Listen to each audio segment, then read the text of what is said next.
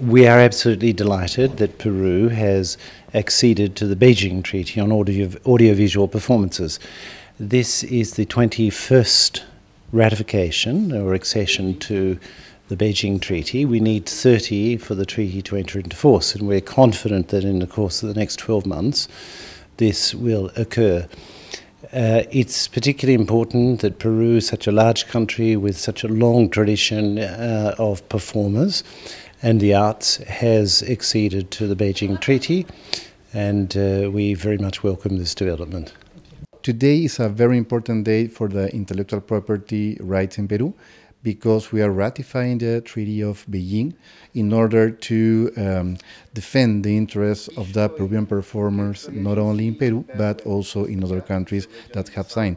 Peru is the 21st country that has ratified the Treaty of Beijing, so we are very pleased about that. And we hope that other countries could join the treaty.